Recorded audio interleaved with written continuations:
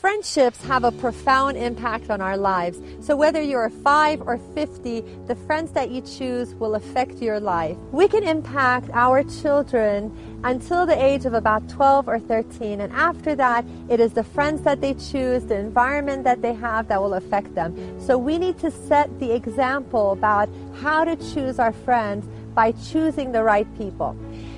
We have to teach our children how to choose their friends wisely, and we need to set the example by choosing our friend. I would like to ask you, what kind of a friend are you? Do you give of yourself with no strings attached, or are you calculating to get the maximum out of each person? Do you forgive or make excuses for your friends, or are you constantly seeking out their flaws? Are you there when they need you, or are you there only for when they're having parties? Because when you are able to be there for a friend, when you are able to lessen a burden from someone, then Allah will lessen the burden that you have on the day of judgment. Do you protect your friends and stand up for them when others are talking about them? Or are you the first one to take part in the backbiting binge? Do you keep their secrets or are you the first to share everything that they have told you? We have to keep in mind that the secrets that our friends share with us are an amana, and we have to safeguard these amanas. Do you encourage your friends to make advancements and to succeed in this dunya or the hereafter, or are you somehow preventing them from moving ahead? Now I'd like to ask some questions about the kind of friends you have. Who are you surrounding yourself with? Because this is going to impact your mood, it's going to affect your religion, and it's going to affect your dunya and the akhirah. So I want to have you reflect on the kind of friends that you have. Do the friends that you have give you support and a peace of mind, or are they always draining you? Are they negative and they are just draining you of your energy? Do your friends live according to the Quran and Sunnah? Are, is that their primary goal? Or are they more concerned about keeping up with the latest fashions and fads? Do they remind you of the hereafter? Do they help you in making advancements in your deen? Or are they somehow distracting you and taking you away from the deen? Because ultimately, your friends are either encouraging you and taking you towards Jannah, or they're distracting you and taking you to the hellfire. And we have to be very cautious about the friends that we are choosing to spend our time with. Now I'm going to talk about some of the characteristics that are needed in order to be a good friend. The first thing is being there for them. And the way you can be there for them is to listen. Now, listening is an art. It's an art that very few people have mastered. Many times when you're talking to someone, they are too busy thinking about a response or too busy or too consumed about themselves. So it's really important to learn how to actively listen. Actively listening means that as you're listening, you reiterate what you have heard from the person so that there's no miscommunication. Another thing that you can do by being there for them is anticipating their needs, realizing where they are and what they need before they even ask. We need to anticipate the needs of the people around us so that we can be there for them because it's really, really difficult for some people to crush their pride and to actually ask for help. Allah says in the Quran that Allah loves those who do good, and this is in Surah Al Imran, ayah 134. So, any kind of that you do, any kind of good act that you do for your friends, you are rewarded for it. Another way that we can help our friends is by visiting them, by keeping in touch with them. There's sometimes, there's some individuals that you will only hear from them when they need something. Have you had that experience? You never, you don't hear from them, but as soon as they need something, you get that phone call.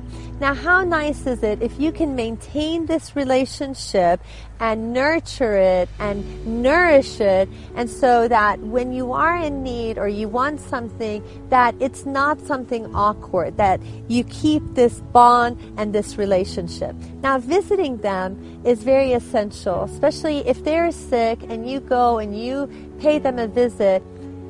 The prophet ﷺ said that a person who is visiting the sick, whether it's their friend or going to the hospital or whoever it is, that 70,000 angels pray for, for their forgiveness. How many of us need that? How many of us need that dua for, from the angels that Allah forgives us? We're always erring. So if we can get into the habit of visiting our friends, then we get so much reward.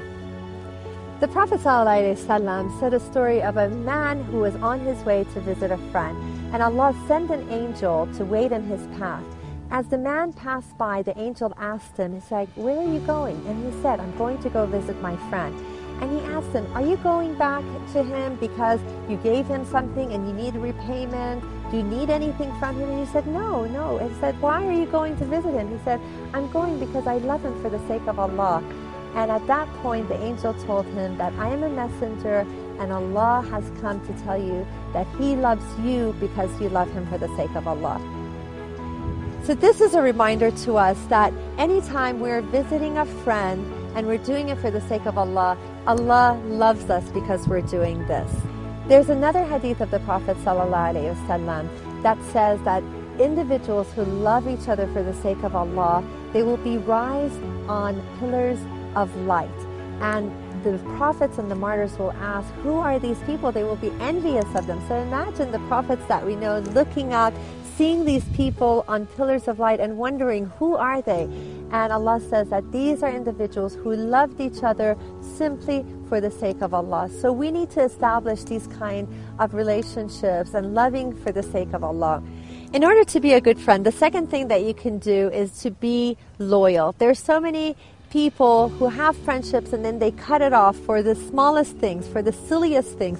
If there's a little misunderstanding or there's some kind of incident that happens, they're very quick to end the relationship. So we need to be loyal and feel that this relationship needs to be preserved. And if we have that mentality, our friendships will last for years and years. A way to be loyal is to never ever gossip about your friends. Have you noticed a friend that gossips about someone else? And when they gossip, you can be pretty sure that they are going to sit and gossip about you. So try to build loyalty by not talking about your friends and not sharing their secrets because, like I was saying, that secrets are an amana.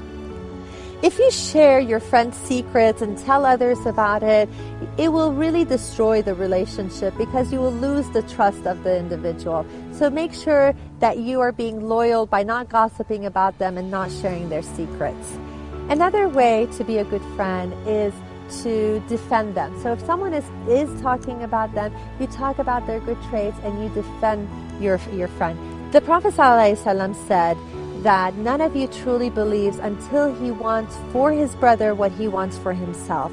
And this is really something easy to say, but implementing it is challenging. Imagine yourself, you're at work and you have your Muslim brother or sister and they may get that promotion. Are you going to be just as happy for them?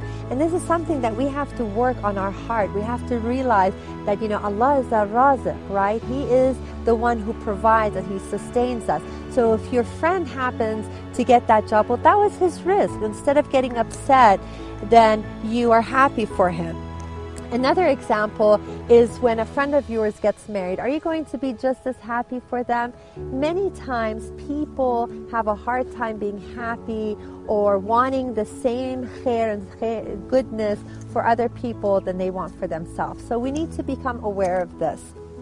Another thing you can do is to forgive. When you forgive, you will establish better relationships because many times what happens is that people do make mistakes. They are falling into error. They may say things that hurt you. They may end up lying. They many things may occur, but if you forgive, then you will find that you are mending. It's kind of like stitching the uh, the relationship. The last thing you can do as far as having good relationship with your friends, if things go wrong and there is some kind of misunderstanding, the best thing is to try to resolve it.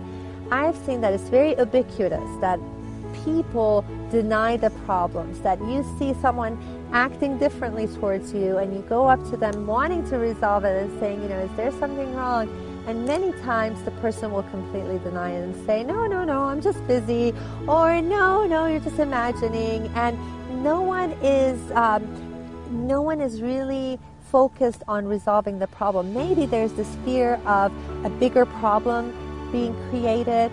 So I think if we are mature in dealing with problem resolution, conflict resolution, that the person who's approaching that one is kind and gentle and inquiring to really preserve the relationship, and the person who is hearing this is wise and mature and feeling that, okay, this information, maybe if I share this thing that is bothering me about the person, we can resolve it and we can overcome it and have a better relationship. I think we really have to have this mentality because by denying the problem, it's not going to go away. It's just going to get, you know, it's just going to pile up. And many times this happens within marriages where a problem just goes on and on. A person is not sharing, is not resolving it, and the person is just denying, no, no, there's nothing wrong. No. Then why is it that you're not giving salams? Why are you acting differently? So what, what's, there's something going on there.